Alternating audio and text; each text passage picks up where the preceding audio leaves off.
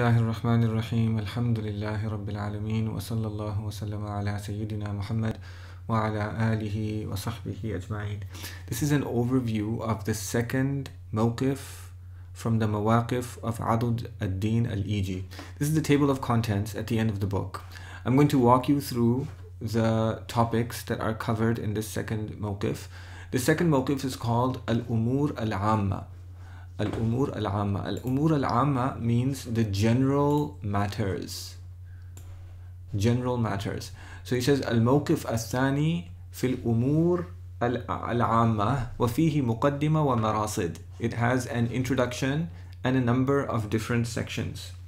Let's go to the section Al-Umur Al-Amma in the Mawaqif and see what this section is about. He says الموقف الثاني في الأمور العامة general matters. He says أي so he's explaining the term general matters الأمور العامة he says أي ما لا يختص بقسم من أقسام الموجود So there are أقسام الموجود things that exist are divided into categories. There's two main categories the category of the necessary existent and the contingent existent. Allah subhanahu wa ta'ala, God exists necessarily, everything else can, exists contingently, and contingent things that exist, according to the um, natural philosophy of the mutakallimun, are either a'rad, which means accidents or properties, or jawahir, which are um, objects or um, bodies. So he says, so the umur amma are matters, concepts that apply to both. لا يختص بقسم من أقسام الموجود. They apply to uh, the necessarily existent being, God. They apply to contingent things, and they apply to both kinds of contingent things. Um, objects, physical objects, and their properties. These concepts that are common, what are these common concepts? These are the concepts that they're going to explore in this section. And the reason why these concepts are important is because the higher level goal of the mutakallimun is to make a cosmological argument, to argue for the existence of God based on the existence of the contingent universe, the physical universe. And in order for them to do that, uh, there, there needs to be some kind of a commonality, some, some common ground. Not commonality, but some common ground. And that common ground that allows us to speak of this and this argument and, uh, and reason in this way and reason to the existence of God these common concepts are al-umur al-amma. So he says, uh, we're going to look at what these umur amma are. Let's go on. Uh, he says over here, uh, al-Iji, he says, وَفِيهِ مُقَدِّمَ وَمَرَاصِد This, uh, this mawqif al-thani fil umur al-amma, it comprises an introduction and marasid, uh, sections. So what's the introduction about? Let's look at the introduction. He said Al-Muqaddima fi qismatil ma'lumat. says the Muqaddima, the introduction is in dividing ma'lumat, things that are known. So there's things that we know. Things that we know. We know about the existence of the universe we know about the existence of the various things in the universe the sun, the moon, the planets, the oceans, the clouds, the mountains, the wind, the sea. We know, we know these things. We know about, we, we know about them. And we want to reason from them to the existence of someone on whom they depend. So that's where we're going. We're setting up the scene uh, so he says that the that the that the things that we know are either either they exist or they don't exist. They're either ma'dum, which means they're non-existence, or they are mawjud, which means they are existent. And according to the mutakallimun, this is the first position. Uh, they say that uh, that uh, there's there's either a ma'doom um, or there is something they call sabit. Sabit means it exists and there's no intermediary thing between them. There's nothing between existence and non-existence. He's going to discuss in this section a position of the Mu'tazila. They held that there's some kind of intermediary existence. There are some they called it a hal. It doesn't have a full existent existence, nor is it nor is it non-existent. This is a discussion that's here for historical purposes. What we want to do is, after looking at the division of things into ma'adum and mawjud, note, uh, ma'adum and mawjud, non-existent and existent, mawjud is something, wujud, existence, is something common to contingent things and the necessary being. It's one of the umur amma. It's one of the umur amma. So wujud is something that's discussed in the umur amma. Adam, non-existence, is also discussed in the umur amma. But Adam is not common to the necessary existent and the contingent things because the necessary being cannot not exist. Non-existence does not apply to it. But it's mentioned by way secondarily. It's mentioned, they say bit because it's the counterpart of existence. So it's it's it, the, the two of them go together. So it's mentioned along with that, and it's mentioned as part of the umur amma. So the first section we're going to see in the umur amma is on wujud and adam. He's going to talk about existence and non-existence and about some of the topics that I've just introduced you to.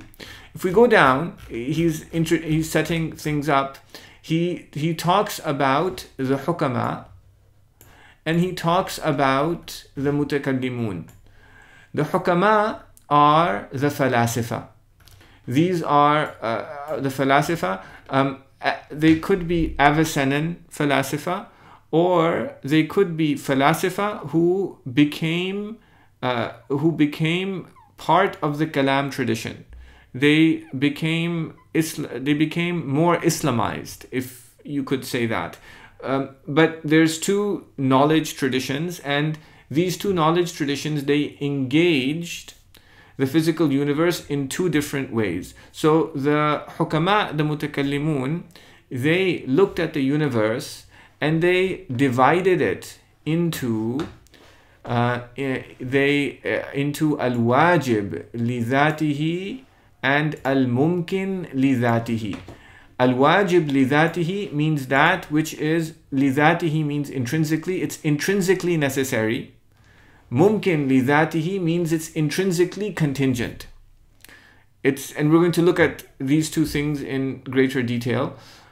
Um, the reason why he says li is because something could be wajib li something could be extrinsically necessary, means it's intrinsically contingent. It could be the case, could not be the case, but because of an external factor, it must be the case.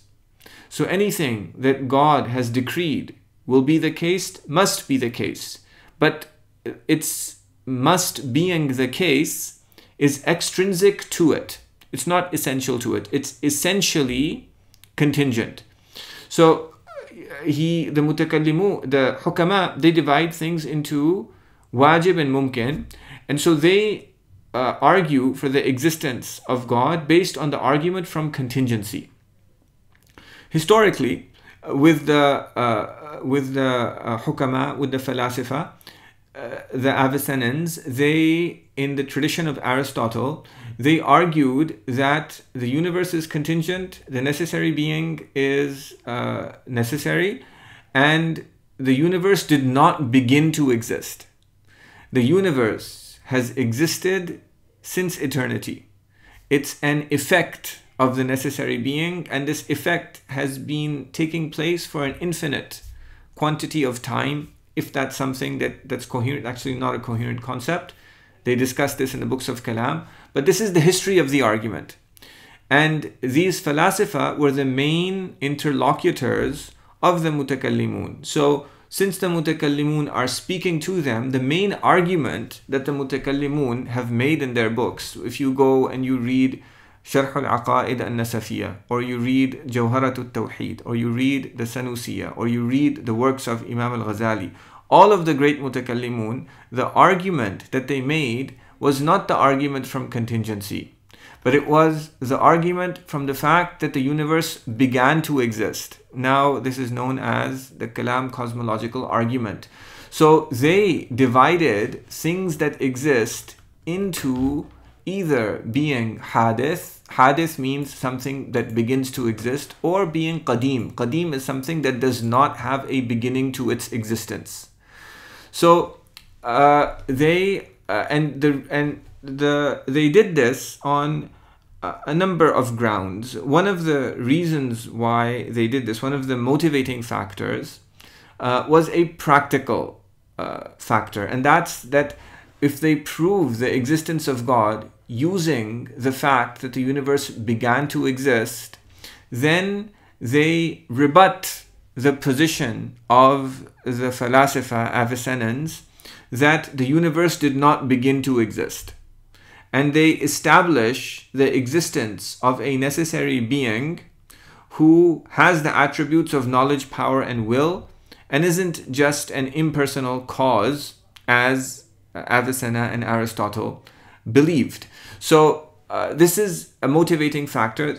There are often philosophical reasons as well. I'll introduce some of them, but because of this, because of this background, one of the things that we talk about in Umur Amma is al-wujub and imkan, necessity and contingency. These are things that are uh, included in the umur amma, even though they're not they're not really common. They're not really common to all things that exist, but when you have something that exists, you ask the question about it. it. Does it exist necessarily or contingently? So, in that sense, in the sense that this question is asked of both, these are considered to be part of the umur amma. And same with uh, beginninglessness, and huduth, having a beginning. So we have a section in the umur amma which discusses existence and non-existence, another section that discusses necessity and contingency, another section that discusses huduth, beginning to exist, and qidam, uh, not uh, beginning to exist. And uh, another, and there's two other sections. One is uh, on causality, uh, on cause and effect, uh, because we're going to argue that the universe is an effect that needs a cause. and the other one is on oneness and multiplicity. And I'll introduce to you some of the reasons why we need to look at oneness and multiplicity. Let's go back to the table of contents at the end. Uh, uh, just so oneness and multiplicity, oneness is something that's common because God, uh, wahda, oneness applies to God and also to created things. Multiplicity only applies to created things. And uh, illa and ma'lul, this also, there's aspects of it uh, that are you know, God is the only true illa, uh, only true cause, uh, think something that brings something into existence. Uh, but uh, there's this is a question that's asked about uh, both kinds of things, and so it's included in the umur amma. So the umur amma, they're supposed to be common concepts, concepts that are common to both contingent things and the necessary being or created things and the beginningless being some of them are some of them are kind of um, some of them are secondary but that's the general motivating factor that we are going to use these concepts to look at the universe and argue from the universe to the existence of God and there needs to be some kind of language, some kind of concepts that are common. There's some kind of a common ground that will allow us to make this argument. Let's go back to the table of contents.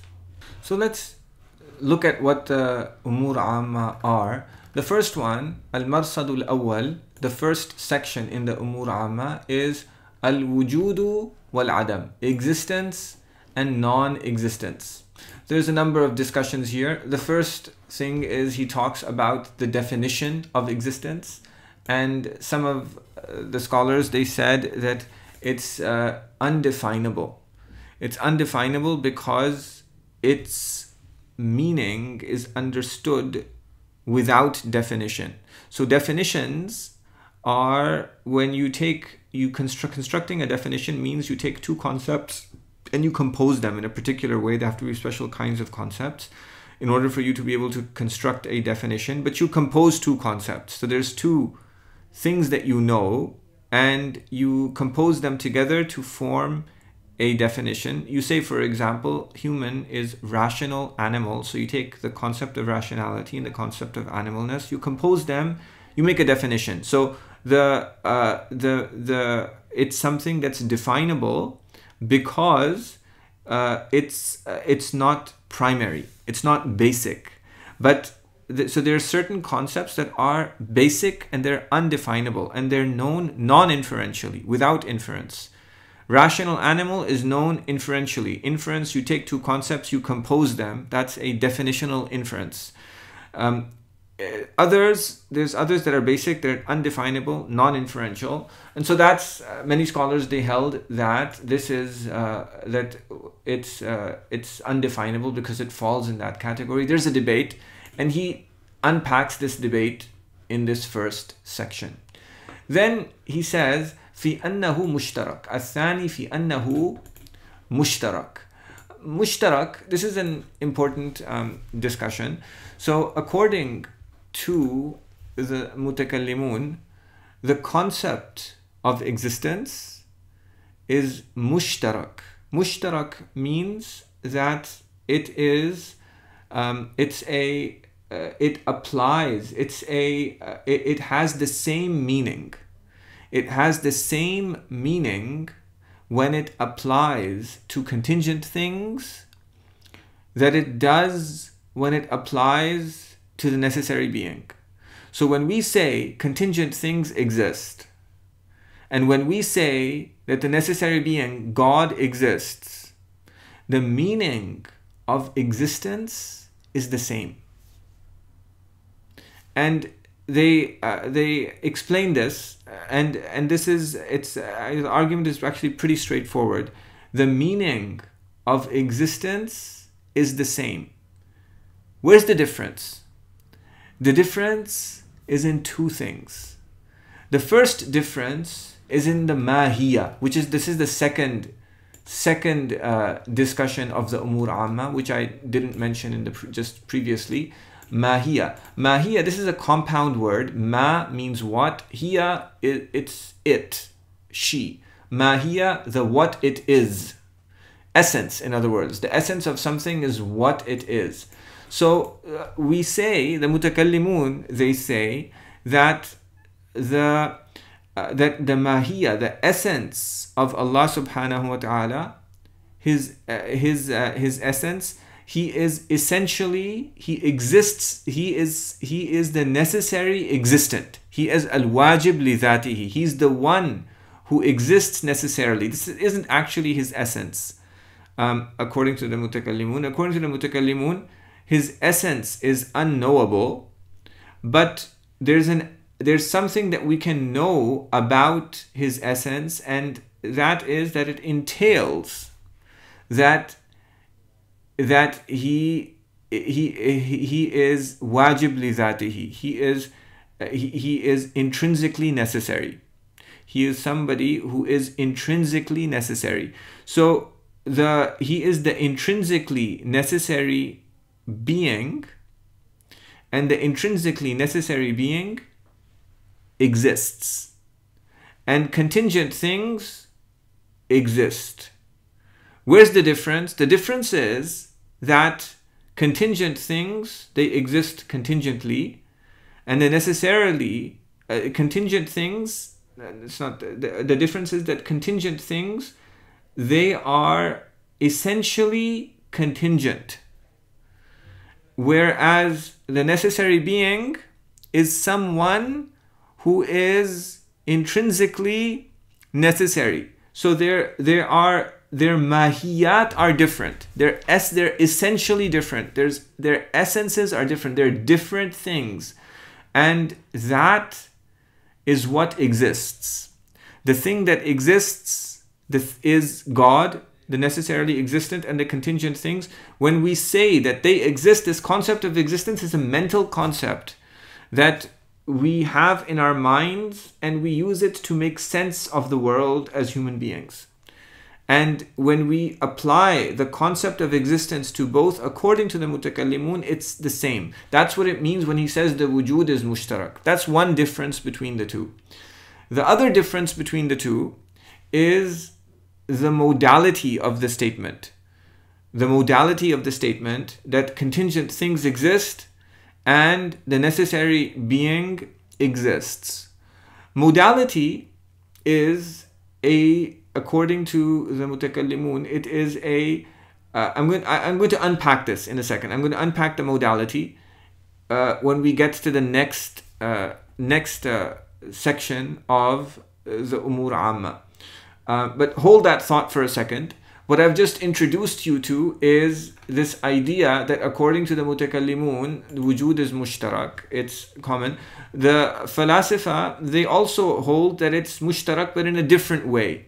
Um, they say, they do say that what it means for God to exist is different from what it means for contingent things to exist. And that's a discussion that is that comes out here. And Imam Abu Hasan al-Ash'ari has a completely different position and that wasn't accepted by the later Ash'aris nor by the Maturidis, but it's mentioned here for historical purposes.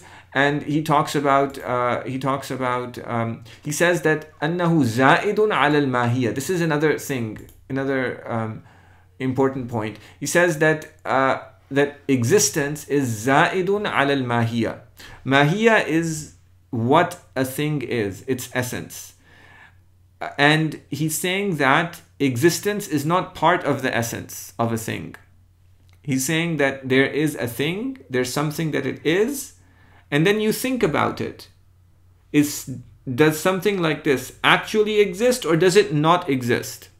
It's described by existence, de- depending on an inference process. And according to the mutakallimun, there are it's different. According to the hukama according to the falasifa they're one thing. Uh, they would say that that his uh, existence is his essence. This is a discussion that's mentioned. Um, but the dominant position of the mutakallimun is that uh, is that Allah subhanahu wa ta'ala his essence that wujud is za'id al mahiyya in both contingent things and and things that exist necessarily according to the uh, it's za'id al mahiya, it's in addition to the mahiya uh, with respect to contingent things, but not with respect to the necessary being. Uh, then he talks about the mahiya, uh, he talks about Platonism and the ideal, uh, his ideal forms, and rebuts that. Um, he talks about some other things to do with essence. Um, and uh, then he he talks he goes to the third discussion in the umur amma which is al wujub wal imkan wal imtina wujub means necessity imkan means contingency and imtina means impossibility so this is an important section and we're going to do a little bit of a deep dive into this section are al-marsad al-thalith the third of the uh, sections in أمور عامة and this is في الوجوب والإمكان والامتناع وفيه مقاصد and it has a number of subsections the first section he says تصوراتها ضرورية this means that their conceptions are non-inferential literally this is what it means what he's saying is that they're not definable these are basic concepts that we all understand. We all understand what it means for something to be necessary, for something to be contingent, and for something to be impossible. Um, and he says that uh, وَمَنْ رَامَ تَعْرِيفَهَا لم يزد على أن يقول الواجب ما يمتنع عدمه أو ما لا يمكن عدمه. He says that anybody who tries to define them, he as as he can only go as far as to say that the necessary, something that's necessary, is that whose non-existence is impossible. So necessity is defined in terms of impossibility. He says, أو ما لا يمكن عدمه, or he says that which is it's not possible for it to uh, to to to not exist. So necessity is defined in terms of uh, contingency, and contingency will be uh, will you know it'll necessity will come into the definition somehow. Um, so uh, he says that that each one of these three فيأخذ كلا من الثلاثة في تعريف الآخر. Each one of these three, they come into the definitions of the other. So he says that the strongest position is that they are known without inference. They're basic concepts that we all understand. And if somebody denies them, they're being obstinate and they're denying something that they do understand. This is part of our humanity. This is how we know God. It's a fundamental, it's, the, it's according to some of the mutakallimun, it's the most fundamental thing that a human being does. And the most important thing that a human being does is distinguish between contingent things, necessary things, and there's only one necessary being, uh, Allah subhanahu wa ta'ala, and things that are impossible. He says, so if they're undefinable, then can you give us, tell us something about them? He says he's going to tell us some of the khawas Khawas are um, exclusive properties. To help us conceive this idea, he's going to tell us some of the exclusive properties of some of necessity, something that exists necessarily. What are some exclusive properties that set it apart from everything else so we can alert ourselves, we can draw attention to the basic concept of necessity that we all understand as part of our humanity. Uh, was uh, this is our fitrah, our our, uh, our uh, the thing upon which Allah Subhanahu wa Taala has created us. He says, "Wahia thalathun." There's three. Uh, there are three exclusive properties that apply exclusively to the one who exists necessarily, Allah subhanahu wa ta'ala. What is the first? He says, فَالْأُولَى إِسْتِغْنَاؤُهُ عَنِ الْغَيْرِ The first is that al-wajib, the necessary being, doesn't need anything else. Allah subhanahu wa ta'ala doesn't need anything else. This idea is there in so many verses of the Quran. Allah subhanahu wa ta'ala, He says in the Quran that Allah is ghaniyun anil alameen. He is completely free of need of everything else that exists. When we say, Alhamdulillahi Rabbil Alameen, all praise is deserved by Allah subhanahu wa ta'ala, this idea is there. It, there's this idea of everything needing Him and Him needing nothing. And this is the greatest praise that we can give to Him. And it's a beautiful, uh, it's a beautiful um, concept realization of uh, uh, this ne- necessary existence. And we express this when we prostrate to God. We are expressing our neediness, and in the realization of our neediness, our, re- our neediness is realized in relation to the complete lack of need of the one we are worshiping. There are two sides of the same coin. One is only realized in relation to the other, and this is part of the exclusive characteristics of the necessary being. This is one. The second is, he says, الثانية كون ذاته مقتضية لوجوده. The second exclusive uh, characteristic is that the uh, Allah subhanahu wa ta'ala, his that, the necessary being, the, their, their being, the being of the necessary being, entails his existence.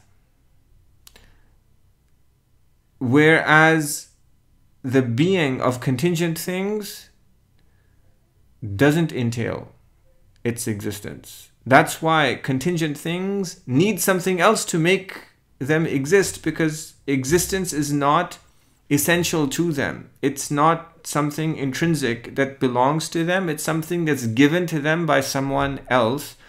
But the necessary being, um, they uh, the, is that being that entails um, that it exists. He says, a thalitha, a thalitha, it's that being that entails, meaning that who it is entails that it is. الثالثة الشيء الذي يمتاز به الذات عن الغير. So he says that the third exclusive characteristic is that this is this the necessity of Allah subhanahu wa ta'ala's existence is the property by which he is distinguished from everything else. It's the property by which he is distinguished from everything else. The essential difference between the the most primary difference between us and the necessary being is that he exists necessarily. He's the necessary existent. And we are contingent things. And this sets us apart completely. Completely. Uh, so these are, he says that these are umur mutalazima, they go together, but they're just, uh, uh, they're, they're, they entail one another. But when we understand these things, then these are like hand waving explanations of what al wajib li the intrinsically necessary being, is. We have an understanding of this in our minds now. So, this is the first discussion that he has about uh, in this section al wujub wal imkan wal imtina.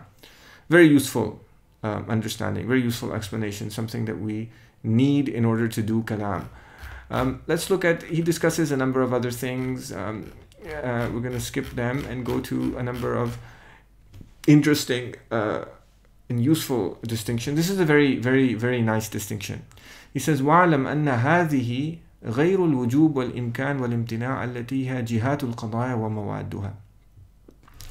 this is now talking about modal logic. Uh, modal logic is a very important subject. It's uh, discussed in the books of logic, Islamic logic. Um, and it has a, uh, a very important relation to the argument for the existence of God. So, modality, it's like this. So, when I say that uh, God exists, or I say that the universe exists, or let's take something in the universe. Let's take Zaid. Let's say Zaid exists. Zaid exists. Let's say something else about Zaid. Let's say anything about Zaid. Or let's say like anything about, let's say the sky is blue. These are all statements. They're predications. You're saying X is Y. All of these are X is Y statements.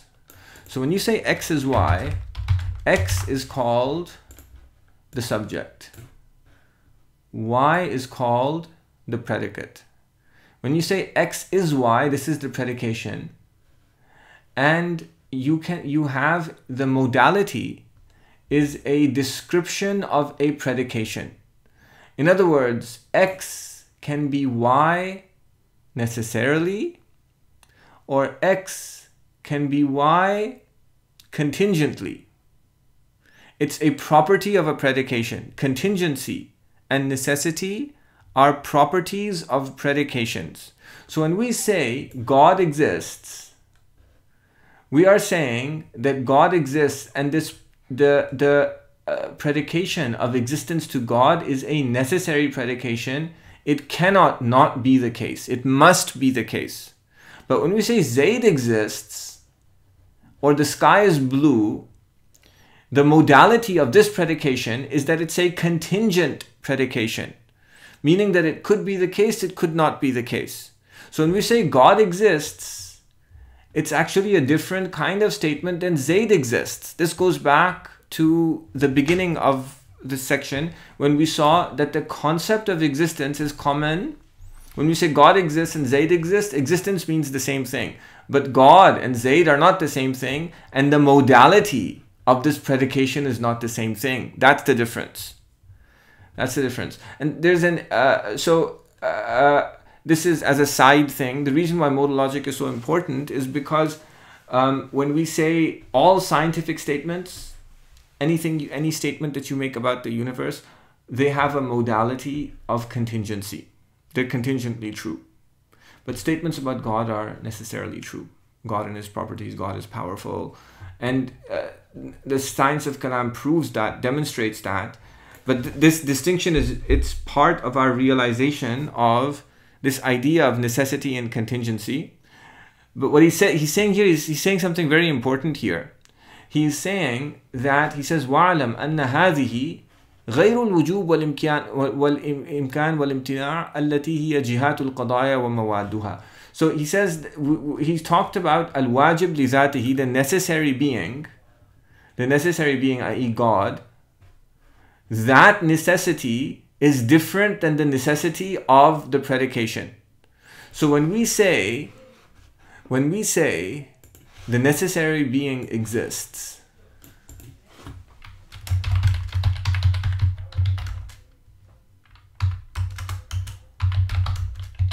the necessary being exists, and we say that this this uh, this the modality of this predication is necessity. In other words exists necessarily.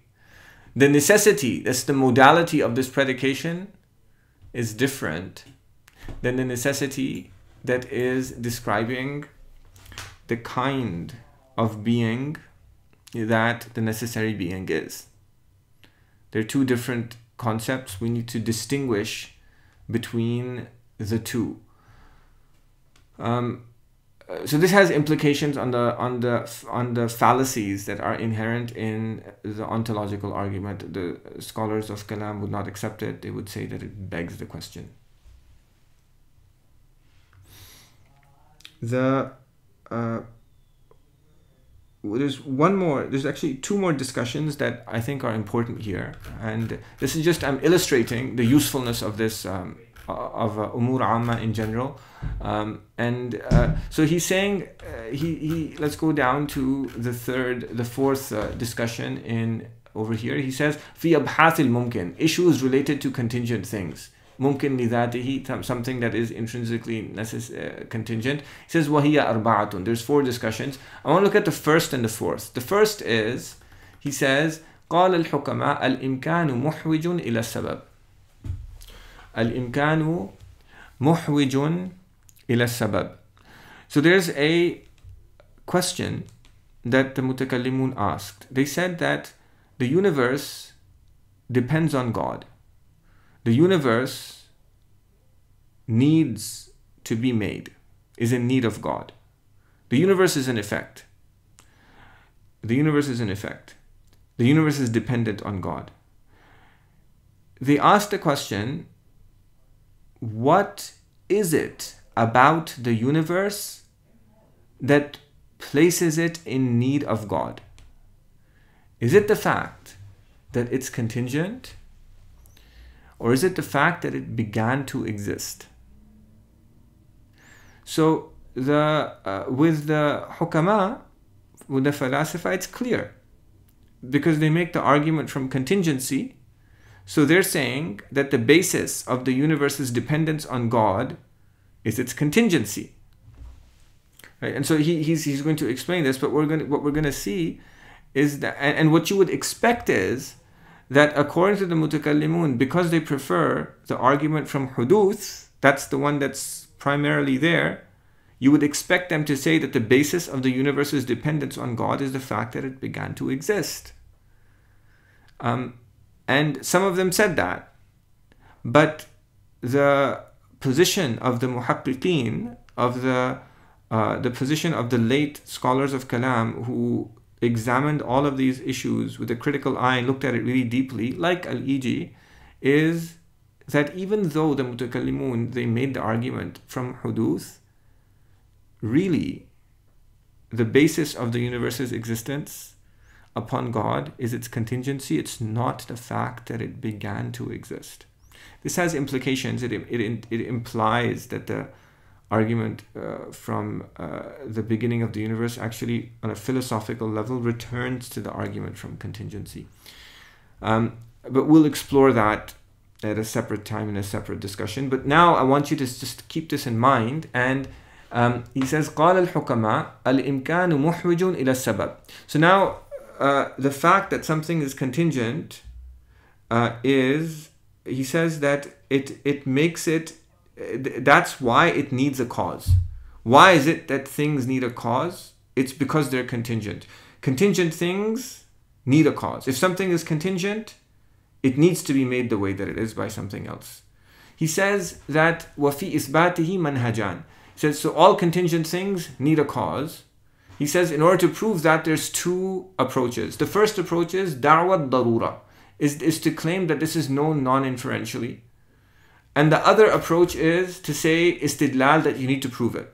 So the fact that contingent things need to be made the way that they are by something else, they need a cause. Is it something that's known non-inferentially or through inference? There's two positions, he mentioned both. And uh, he goes back and forth and he mentions them, but at the end he says, فَالْأَمَمُ الْمَيْتَ هُوَ الْأَوَّلِ which is a complicated way of saying that the correct position is the first, meaning that the contingency of the universe is something that is, uh, that the fact that something is contingent needs a cause is something that's known non-inferentially. This is, these are all extremely useful concepts because what we've seen is that the fact that something is contingent, contingency, the meaning of contingency, we know without inference. Um, and uh, he didn't we didn't go through it but the fact that the that the things in the universe are contingent is also known without inference and the fact that contingent things need a cause is also known without inference. He's saying these are all non inferential things. They're non inferential things. Um, and so if somebody challenges this, they're challenging something that cannot be proven that they actually know to be true themselves, but they're just denying it. Um, so he says, فَالْأَمَمُ الْمَيْتَاء هُوَ الْأَوَّلِ So this is the first uh, thing that I want to look here. He actually says here at the end, he talks about, he says, خاتمة قال المتكلمون. The mutakallimun, um, they said, المحوج هو الحدوث. So uh, some of them said that the that the thing that makes the universe have a need is huduth, the fact that it began to exist. Waqil, some of them said al-imkan ma'al huduth, both uh, contingency and the fact that it began to exist. Waqil imkan bi shart al-huduth, uh, and it said that it's uh, contingency with the condition of uh, coming into existence. وقيل الكل ضعيف and it said that all these three are ضعيف and that the correct position is the position of the uh, of the uh, falasifa. And if you look, if you read the commentary of Jurjani on the Mawaqif, he this is the position that he's going to support. This is the correct position. Um, and the reason why the mutakallimun, some of them, when they say that it's huduth, that's the uh, that necessitates, uh, that's the cause um, of that that is the basis of the universe's dependence, is that until things come into existence, they don't actually have a need, because you can conceive of uh, of uh, contingent things not existing these are just conceptions. They don't need something to make them not exist or exist. Only when they come into existence that they come to have a need. And that's true. That's a true statement. Um, but what's the basis? What's the what's more basic? The thing that's more basic is contingency. That's also a true statement. It's a complex and interesting discussion. Um, but one of the things that this reveals is that it's the argument from contingency that's primary, simpler, and stronger. And the argument from huduth, uh, uh, although it's prevalent in the books of Kalam, it returns to the argument from contingency. And uh, and the reason, and you know, it seems that the reason why uh, the scholars of Kalam they used the argument from huduth, which is a good argument, it's a strong argument. It needs to be made, um, and it is made now. It's called the Kalam cosmological argument. Uh, but the, the, the reason why it became so popular is because it's a convenient way of dealing with their primary interlocutors. I mean, this is why when I uh, when I present the traditional kalam argument, I prefer to present the argument from contingency over the argument from the uh, fact that the universe began to exist. Philosophically, it's sounder, it's easier to communicate. But the other one is also true, and the Big Bang has made it more prominent, and that's important. It's an important consideration for us to keep in mind. the last point over here that I wanted to say is look at, he says, وَرَابِعُهَا أَنَّ الْإِمْكَانِ لَازِمٌ لِلْمَاهِيَةِ He says um, that contingency is entailed by what things are. لَازِمٌ لِلْمَاهِيَةِ uh, What this means is, uh, is that when you understand what anything is in the universe, you understand what water is, you understand what the sun is. You understand what a horse or a dog or a human being is. Your understanding of what it is entails that you understand that it's contingent. And this is, uh, I mentioned that this is why we know that. Uh, uh, that things are contingent. We know this without inference. So this is this is the way that we um, that we know it, and the uh, the most the the you know, mahiyya this concept of mahiyya is used for many different purposes the philosopher they used it to construct a natural philosophy from the perspective of the mutakallimun the relevance of it these are the these are the kinds of discussions why why it's relevant because it allows you to clearly identify uh, how the universe depends on God and remember the purpose of the mutakallimun is to um, prove points of faith, and uh, uh, the most important of which is the existence of God. So let's look at the table of contents for this uh, section again al-wujub wal-imkan wal-imtina. The first thing he talked about was he said tasawwuratuha daruriya that they are uh, conceived of non-inferentially. Second thing he says that umur i'tibariya it means they don't have any extra mental existence. They're just um, things that are conceived by the mind, abstracted by the mind from uh, uh, from reality, um, or inference from reality, uh, in the case of uh, of the necessary being. And then he talks about al wajib li and al mumkin li uh, the necessary being and contingent things. We just we looked at some investigations from there. Then he talks about the qadim, beginningless, and the hadith, the things that began to exist. This is related to the argument from contingency. This is related to the argument from the fact that the universe began to exist, the Kalam cosmological argument. Um, the next section is on oneness and multiplicity. So this has partly it has a historical reason. Uh, the uh, philosopher they used to say that from the one only one comes uh, you don't have you can't have multiple things coming from the one who's absolutely one and that's why they posited a series of emanations by which uh, the unity of god successively became uh, more multiple uh, resulting in the multiplicity that we see in creation baseless argument. It doesn't have any foundation. Uh, but that's one historical reason why this is here. Another reason why it's here, this, this is related to discussions of mahiyya as well. It's also related to discussions of number and counting. And that's, uh, uh, that's important because um, if you want to prove the fact that the universe began to exist, then you have to uh, prove that uh, it's impossible for an infinite quantity of time to elapse. So infinity is not kasra, it's not a multiplicity. Um, and uh, looking at that is related to this section. He talks about um, uh, he talks about uh, the uh, numbers here, maratibul a'dad.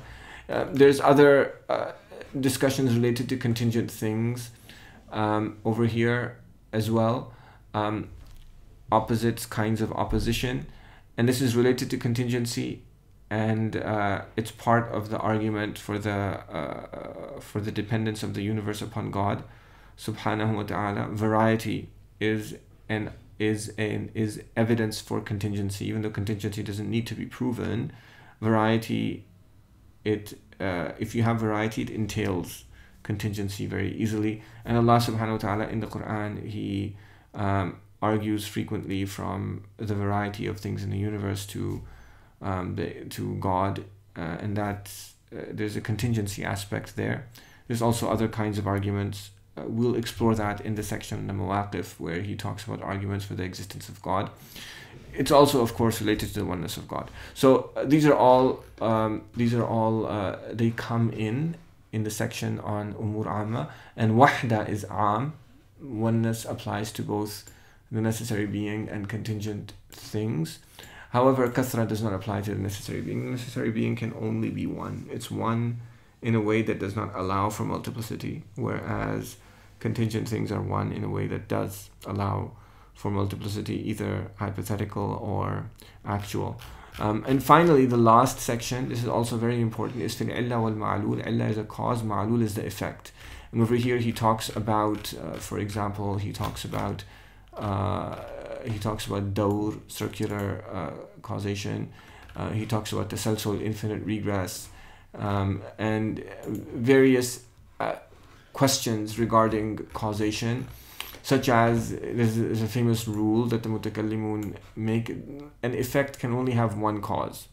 An effect cannot come about through a combination of two causes. It can only have one true cause. Um, this is related to arguments for uh, related to free will um, and other issues as well, uh, oneness of God as well. Um, and uh, then there's a, a, number of other discussions that are of philosophical interest. He just he defines what a cause is, what an effect is, and these are the sections of umur amma, and they're used in the rest of the book. So the rest of the book will refer to these things as we construct our argument for the existence of God um, and the truthfulness of his messengers from the universe. وصلى الله على سيدنا محمد وعلى آله وصحبه وسلم